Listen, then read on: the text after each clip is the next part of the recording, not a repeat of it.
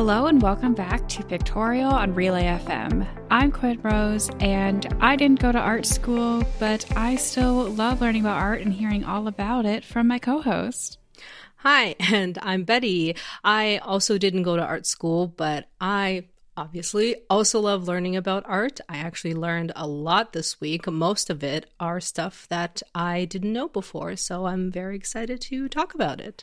Today is the very last day of our little mini series on religious art traditions, and I am so excited to hear all about Hindu art.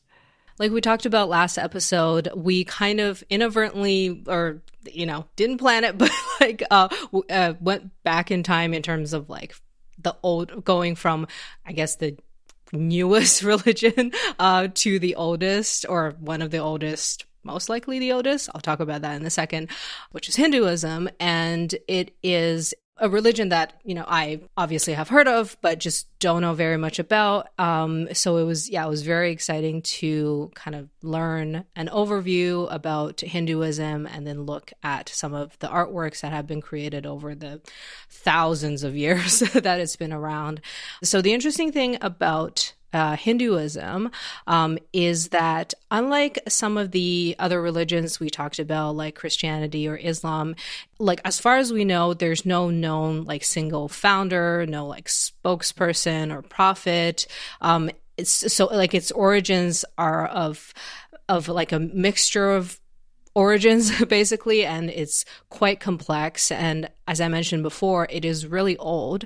So according to historians and archaeologists um, it's believed that it probably originated as far back as the third to second millennium bce during the indus valley civilization.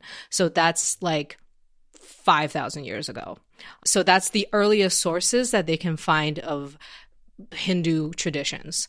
Um, so, although it didn't really become like a dominant religion in Southeast Asia until uh, like around the fourth century CE, I didn't even know it was that old. It is really funny how we keep going back in time with these because I remember talking in the Islamic art episode and being like, this stuff is so old.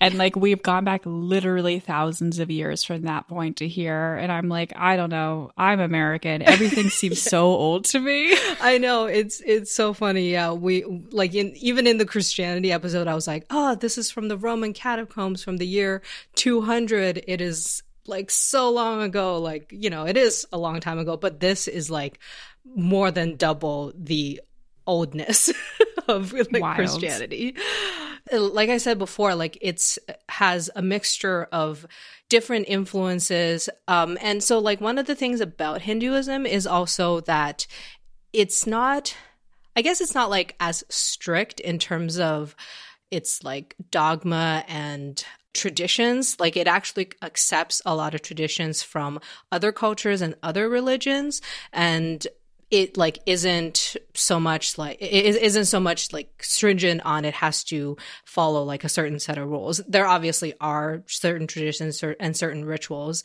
um, which we'll talk about in a little bit. Um, but one of the things is that it shares a lot of similar characteristics as buddhism.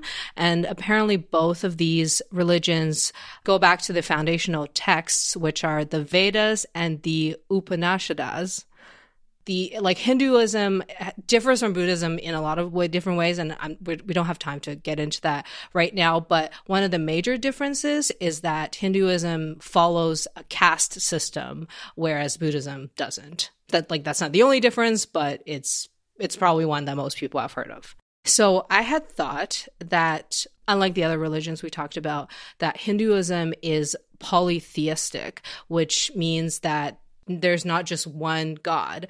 But apparently, this is not technically true, but I, I, welcome anyone who knows more about Hinduism to correct me, uh, because what I've read is that there actually is one true God in Hinduism called Brahman, um, but Brahman can manifest itself in different forms. So I guess he can transform into other gods. Like he can even transform like genders and like all kinds of, uh, I guess, like abilities and different things. So it's more like there is one God, but people pray to all these different gods because the one God transforms into all these other ones.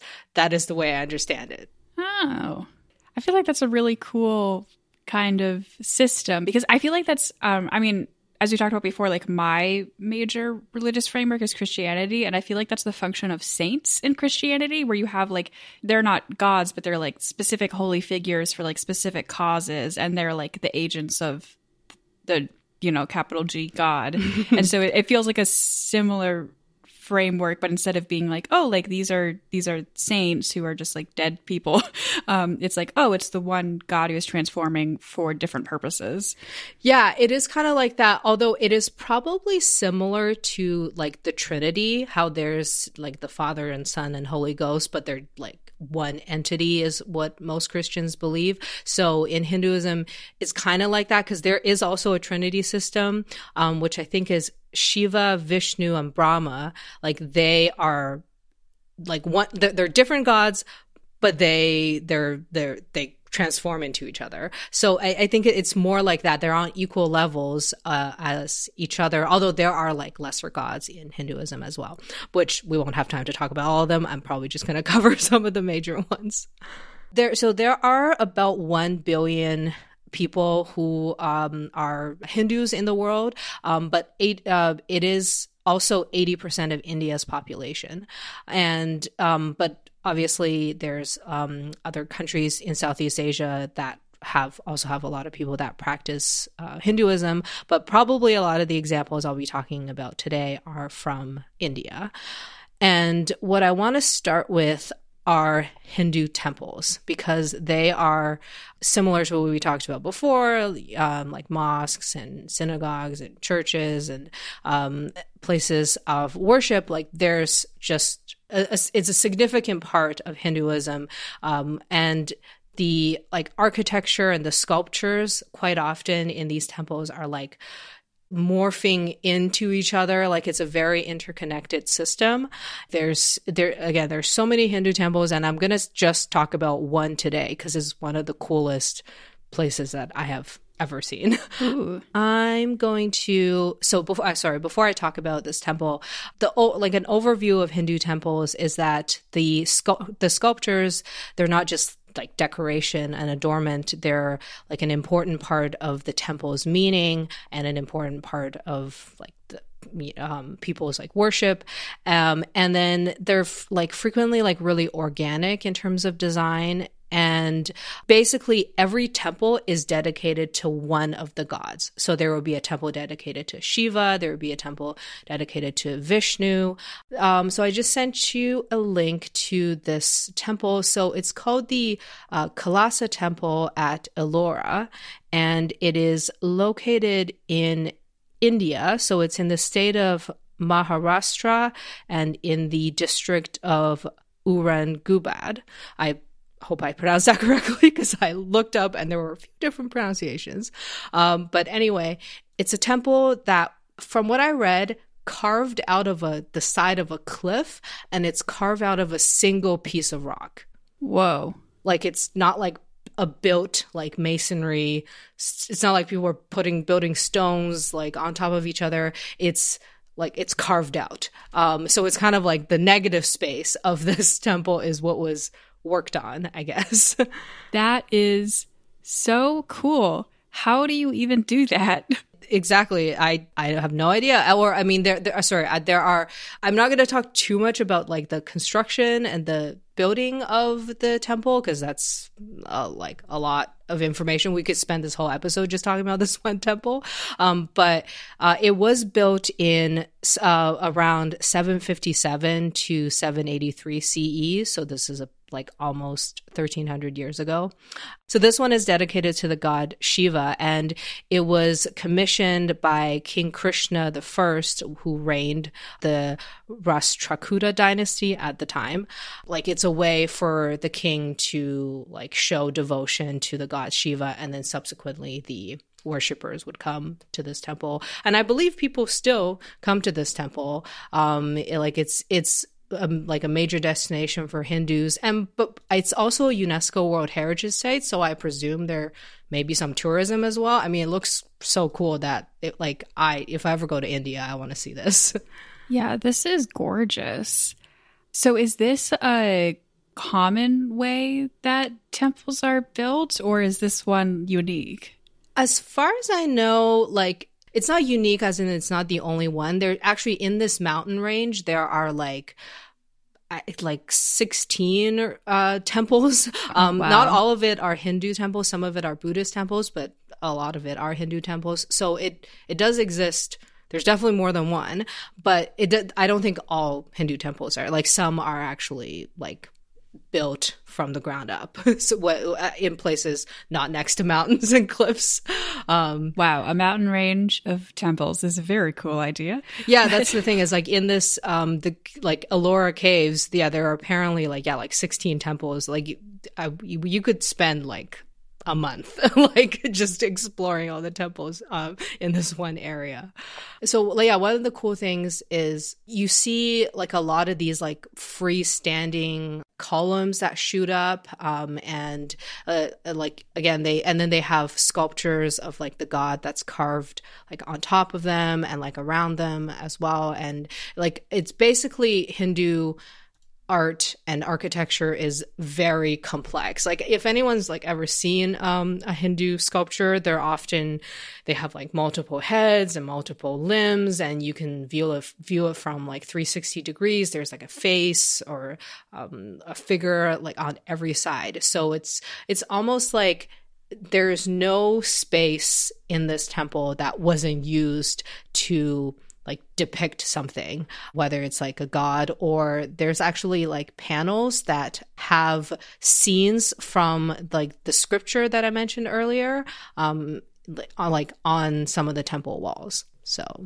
it's hard to try to think of how to describe this for someone who's not looking at it right now because it's like okay like it's a temple and it's carved out of rock and it's like very clear but it's so interesting because it's so different than like if you just told me to imagine a, a, stone temple, right? Like I can do that. And this doesn't not look like that, but there's also something about it. Like it's so clear that this was just carved out of the stone here. Like there's a lot of it, even though it's like very detailed work and very beautiful work, there is something about it that's still a bit rough. That's still a bit like, oh, you can, when you say like, oh, this was just carved out of the rock here, like, yeah, that makes sense. It doesn't look unnaturally smooth. Like there's something about it that still looks quite natural, um, which it, it almost creates this illusion in your mind of that like this just naturally formed out of this cliff face here, which is such a cool effect.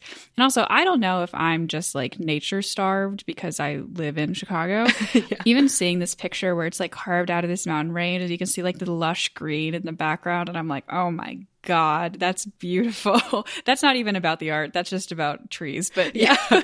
oh, uh, well, exactly. It's like a, a lot of times architecture and nature, you know, are seen as like basically opposite things because there's the outside and there's the inside. But this one like it it integrates so well with the surrounding landscape. Really like it's really cool. And and yeah yeah actually one of the reasons why like this temple is really famous and also like a UNESCO site is that um apparently it is like one of the most well preserved uh, Hindu temples, as in like almost all the sculptures that were originally there are still there. And then there are apparently also paintings on the inside, although I couldn't really find any pictures. Um, but uh, but apparently, yeah, like the paintings are also really well preserved, um, unlike a lot of other temples where the paintings would have just like faded away. Hey, you love to see some good preservation of things that are thousands of years old. For sure. And yeah, like last thing I'll say about the temple is that um so I did learn that there's uh the temple like it kind of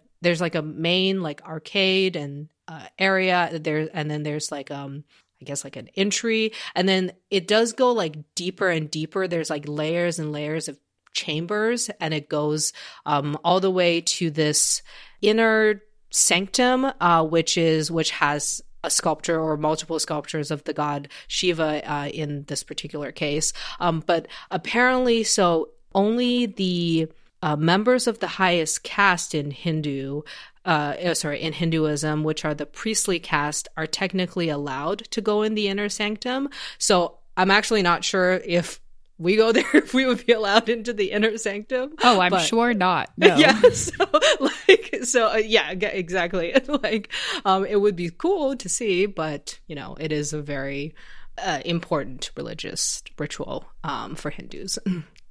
I have some examples of sculptures and um, mostly of the gods. Um, there's again, there are so many different Hindu art, like from so many different places. Um, but I'm probably gonna only gonna show um, maybe about like four or five pieces of sculptures that are depicting some of the most famous gods in Hinduism. As I mentioned before, the uh, Brahma is known as like the one true god or the the original creator um, is what he's known as um, but it is uh, he, like he is a part of a trinity of gods, which is called the Trimurti, and that com- that's composed of Brahma, Vishnu, and Shiva. And I'll talk about what Vishnu and Shiva represent when we see some of their uh, works later on. But basically, Brahma is known as the creator, Vishnu is the preserver, and Shiva is the destroyer. Um, so that's like they kind of make up the world is like created and then it's preserved, but then there's also destruction. So there's like these opposing forces um, that these gods represent.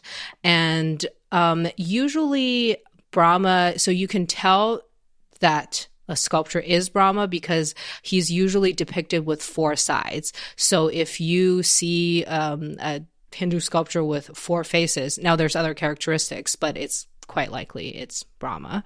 This particular sculpture, uh, they actually believe was probably in the outer wall of a temple that was dedicated to Shiva or Vishnu, but for some reason, Brahma became a side character, like in those situations. It kind of feels like a little acknowledgement of like, okay, yeah, like this is a temple to somebody else, but like you're also very important. So, like, here's your statue. yeah. Like I mentioned earlier, there is Brahma, and then Vishnu um, is known as the god who represents preservation in the universe.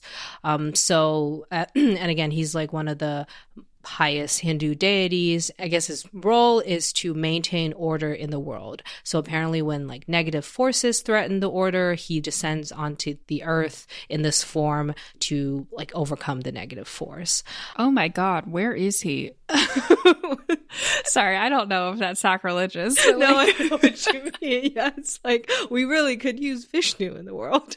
like, um, but I think I can see like this is why I can understand maybe more people pray to Vishnu because he is kind of no i don't want to say more useful because it's like the creator is like okay the world's already created it's already here. We don't need like the day-to-day maintenance kind of you know? Yeah so the way you can tell uh, the sculpture is vishnu is that um, he's usually depicted with a conch which he apparently uses to like blows on it to alert troops to a war. Um, he often holds a club uh, a mace and a discus. Um, so basically a lot of weaponry. I presume it's to fight the negative forces.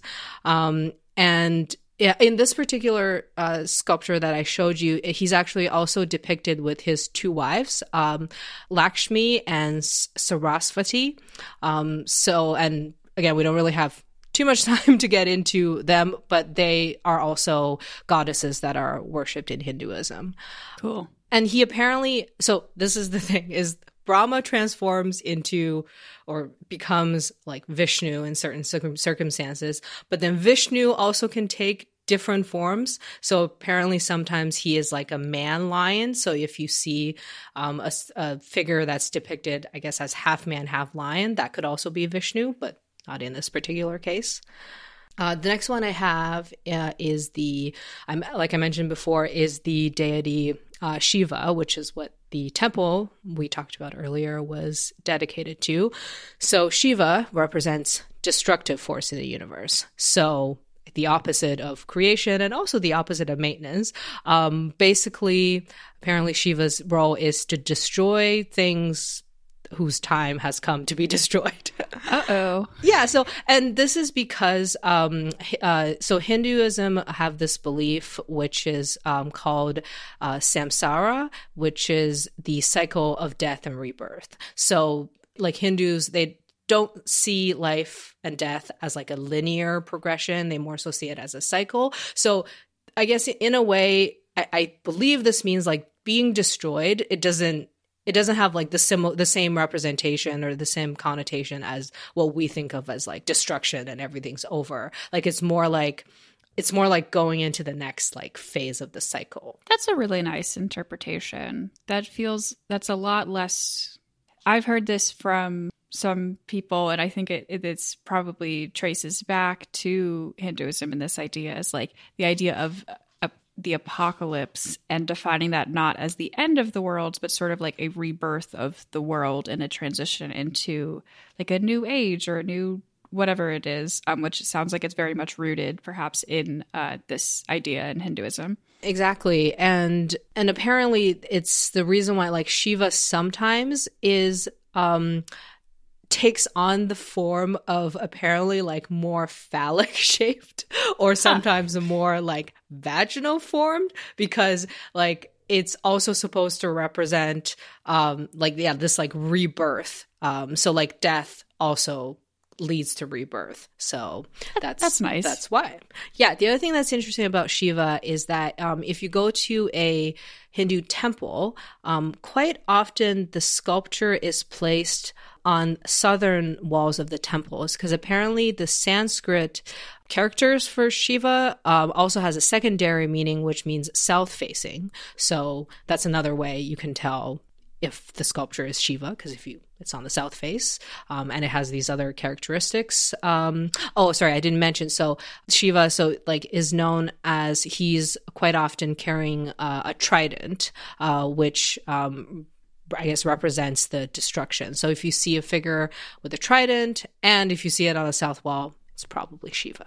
Oh, okay. But the other thing about Shiva, though, uh, there's, um, and I guess another form or another interpretation of um, what Shiva represents. Um, so I just sent you a link to another sculpture. So this one is a copper alloy sculpture, and it apparently represents Shiva as Lord of the Dance. So apparently, Shiva um, is also known as Lord of Yoga. Cool. Yeah. So, um, so, but so, and apparently, so the uh, mostly it's ta- Tamil sculptures of the Chola dynasty.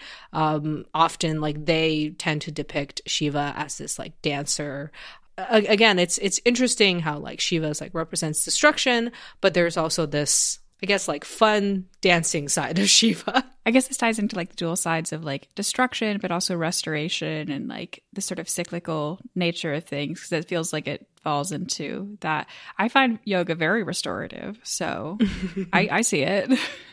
This is actually one of the Hindu gods that I've known a little bit about before because I've seen I've seen this sculpture like in I'm assuming like maybe like in businesses that like that's like owned by like someone uh, who is Hindu because I've seen the sculpture placed as I presume you know for like good luck or something um, like in people's homes or in their businesses. So this is the Hindu deity Ganesha.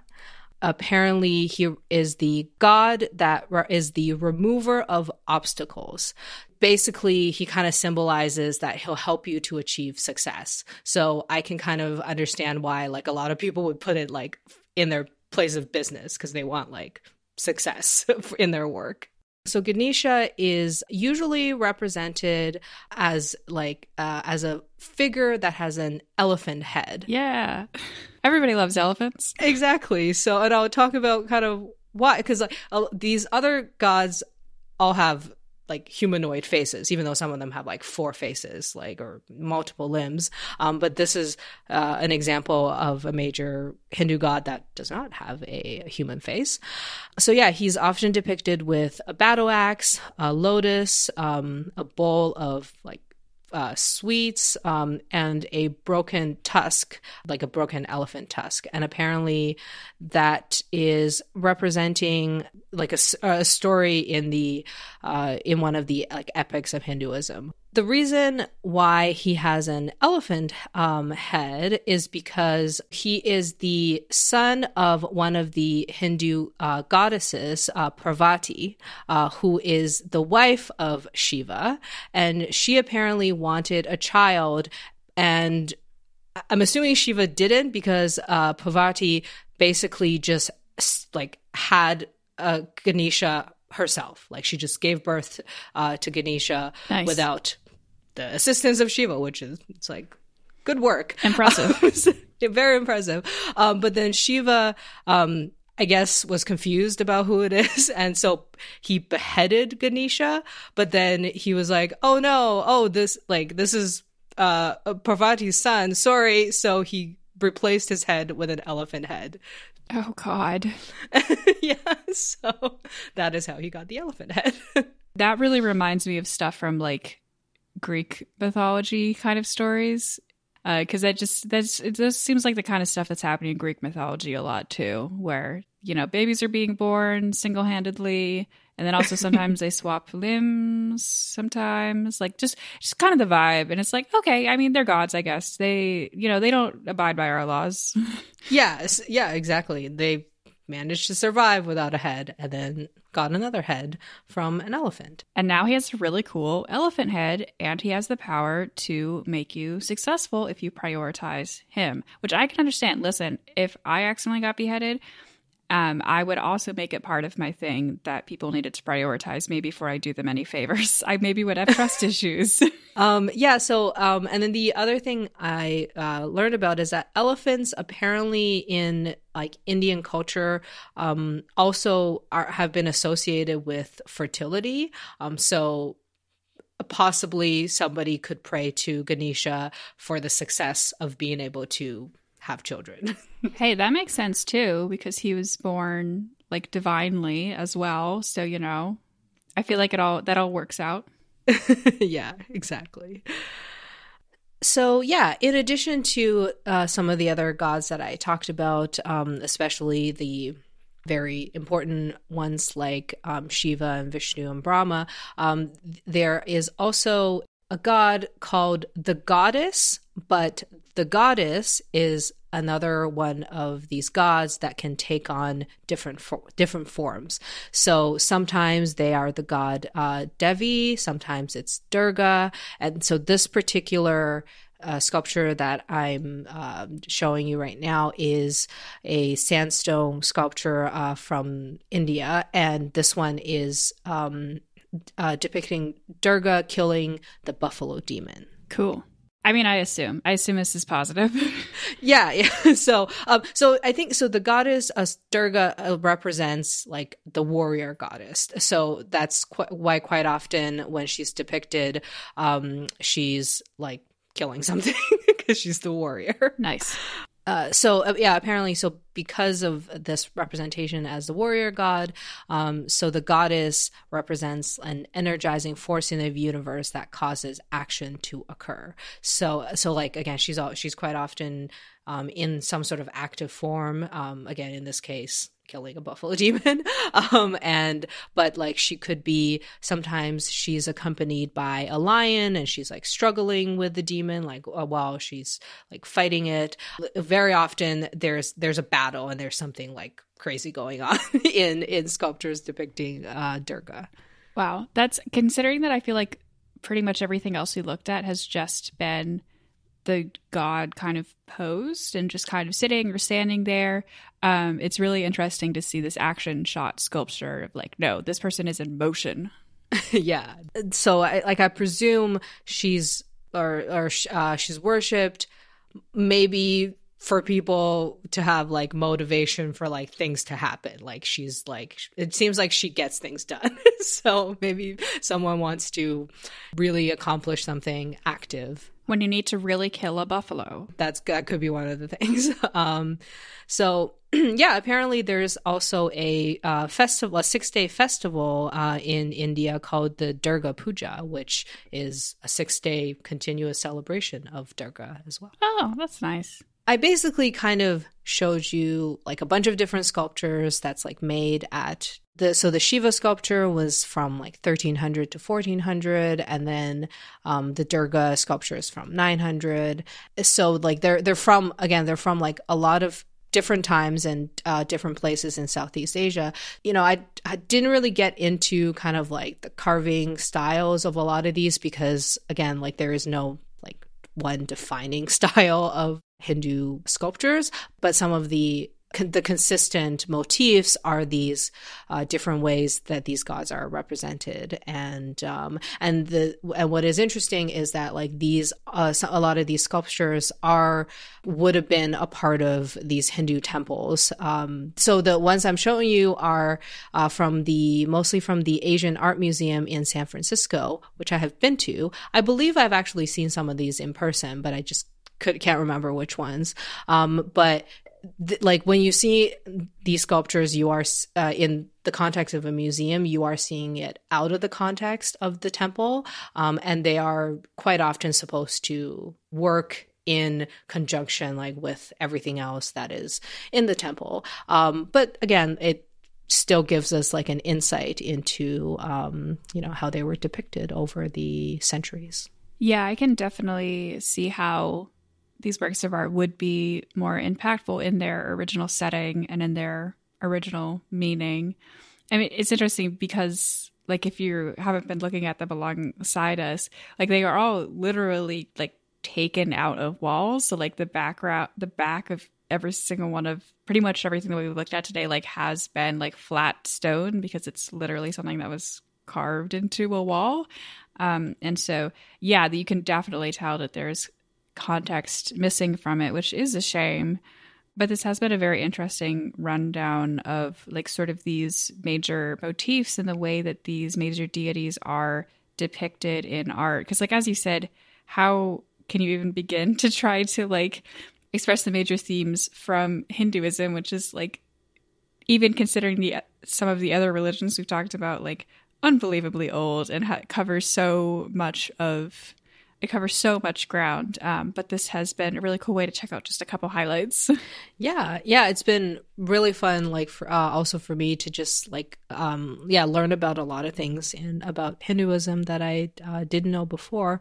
And um, I think in the future, hopefully, I'll be able to tell what gods, Hindu gods, um, it is that I'm looking at just based on you know what they're holding in their hands. Um, again, my research, I, I like I looked at a whole bunch of different um, gods as well, but again, there are just like hundreds, so we don't have time to talk about them all. Um, but it is that's what makes it so fascinating. There's just so much to learn. Yeah, now we have a challenge. So we've gone through sort of like these major markers of how these gods are depicted. And so next time you go to a museum, you go to the Hindu art section and then you say, okay, like let's see how many of these I can name. And then you check the label to compare and see if you got it right. yeah, that's a good exercise. that's what I'm going to be doing. Well, thank you so much for listening to this episode of Pictorial. And if you have been here for the last four episodes, our whole little mini, mini series about religious art will be back to our regularly scheduled modernist, abstract ridiculousness soon. Most likely. You can find our show notes at relay.fm slash pictorial, or you can follow us on Twitter or Instagram at pictorialpod. And if you'd like, you'd also follow me on Instagram at aspiringrobotfm. And you can follow me on Twitter or Instagram at ArticulationsV. I'm also on YouTube as Articulations. And speaking of YouTube, we also have a uh, YouTube channel, Pictorial Podcast, where you can see video versions of our episodes and look at the art as we uh, as we go along. Um, most recently, there have been a episode on net.art which showcase some stuff that actually we didn't talk about in the episode. So I encourage everyone to check out the video versions as well. Yeah, that one's really cool. We're catching up on the on the back catalog with the video ones, and there's all sorts of fun stuff in those. So Thanks for listening, art enthusiasts.